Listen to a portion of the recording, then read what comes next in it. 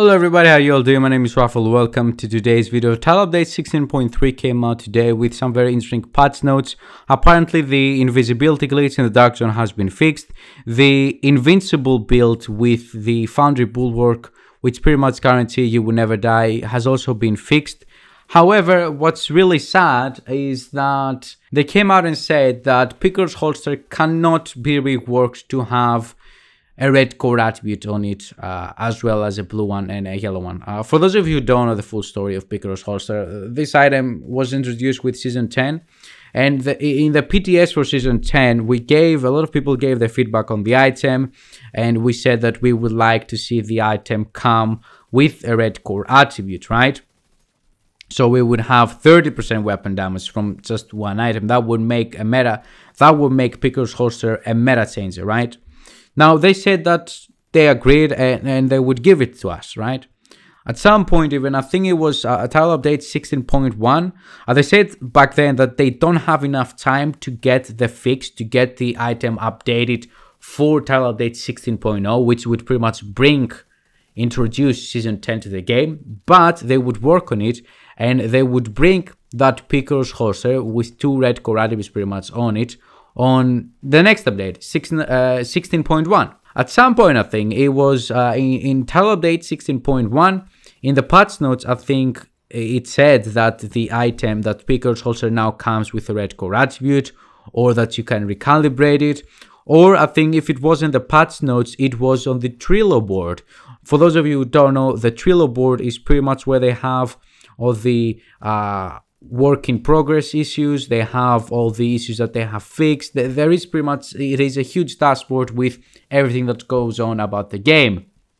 And over there it said that the item has been reworked to be as it should be. But even then in title update 16.1 when we jump into our game with we saw we realized that you know what this is not possible. The patch notes are not correct. And then the developers came out and said uh, there has been some issues, uh, it's gonna be delayed, we will get it next time, blah blah blah.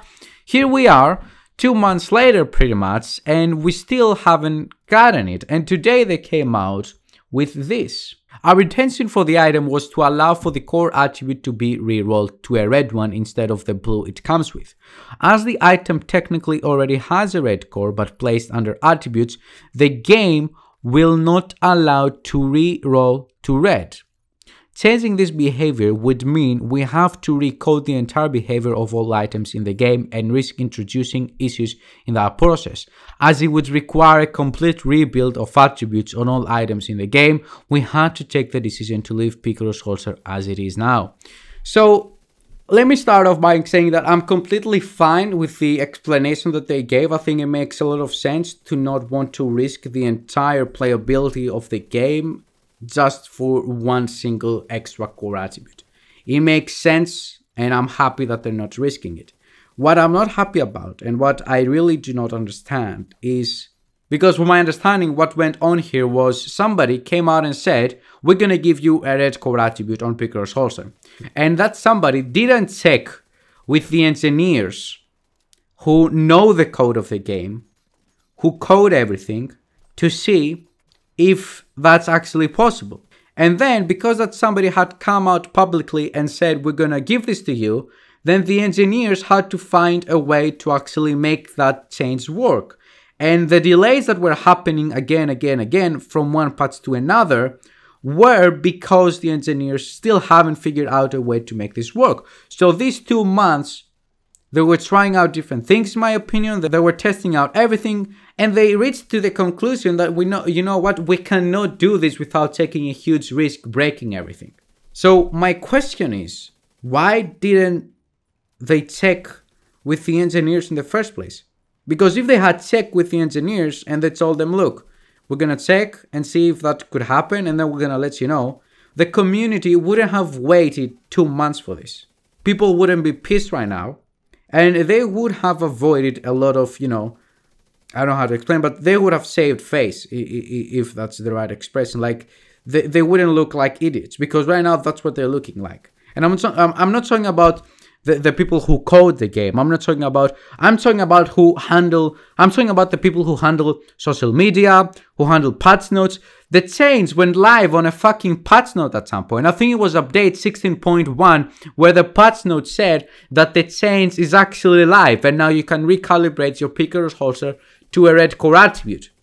There is a huge disconnect between the people who type shit and people who actually change shit in code. And uh, as I've said in the past, I, am trying to be really, really chill with this, but it's getting to a point where this is embarrassing. You can't have engineers, people who code the game, tell you, we're testing for this, or we cannot get it done yet, or whatever, and then you coming out and say, we got it fixed in the patch notes. And then you come out again and say, yeah, it wasn't in the patch, it's going to be in the next one, or we're still working on it, or, or whatever, and have the players wait for two months just to come out eventually and say, look, we're not going to do it at all.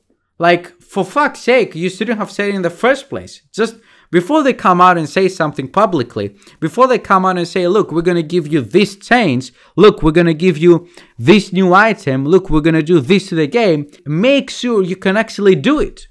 Like, I don't think that that's so, you know, crazy to ask for. So it's just stupid, man. Because I, I try to defend the game a lot uh, when all these people are talking about how the game is dead, the game sucks, blah blah blah. I actually try to defend the game because I know that the game is not at the best state, obviously. However, it, it's much better now that we're getting some content and, and, we have new missions and we have new seasons and we have new items to play with than when it than what it was eight months ago when there was nobody behind the game and we had no content, right? And I understand that the developers have a hard work. I don't know shit about how ga- how coding or how gaming programming works and, and all that kind of things.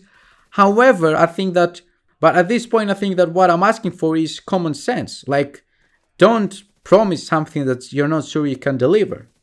So yeah, uh, I know that it sucks. Obviously, the two months sucks. Uh, the, the fact that we're not gonna get it sucks, but we, we cannot do anything about it. So yeah, uh, let me know down below in the comment section, guys, your thoughts uh, about this, your opinion on the subject. Thank you very much for watching the video. Have a wonderful day, everybody. Bye bye.